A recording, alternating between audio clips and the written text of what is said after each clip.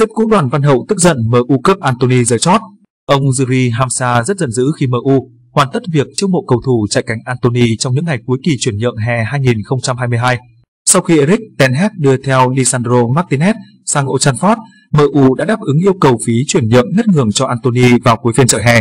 Bản thân tiền đạo trẻ người Brazil cũng đình công, bỏ tập và từ chối ra sân cho đến lúc Ajax chấp nhận lời đề nghị của đội bóng thành Manchester.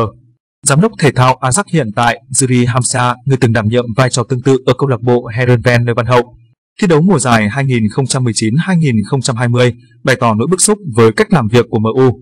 Ông nói trên Telegraph, thời điểm MU mua Anthony thực sự rất tệ. Những ngày cuối thị trường chuyển nhượng Ajax trở nên bận rộn hơn vì trải qua cuộc tái thiết lớn về lực lượng sau sự ra đi của nhiều cầu thủ đẳng cấp. Thật khó khăn vì đẩy huấn luyện viên trưởng vào hoàn cảnh như vậy. Tất cả chúng tôi đều nghĩ rằng Ajax mất đi quá nhiều trụ cột, những người thường xuyên có tên trong đội hình xuất phát. Lãnh đạo đội bóng muốn giữ đội hình mạnh nhất có thể để chinh chiến các mặt trận, đặc biệt sân chơi Champions League. Tất nhiên, chúng tôi biết đã có một vài sai sót, nhưng chẳng ai lường trước cầu thủ của mình lại được mua với khoản tiền khổng lồ như vậy. Các sếp Ajax nỗ lực rước về Hakim Ziyech để thay cho Anthony.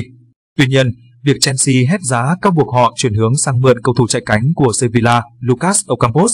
Ngoài hai cái tên Lisandro Martinez và Anthony, hè vừa qua, Ajax cũng chia tay nhiều cầu thủ giỏi như Andrea Nana, Nicolas Tagliafico, Nausem Mazao, Sebastian Haller hay Ryan Gravenberg.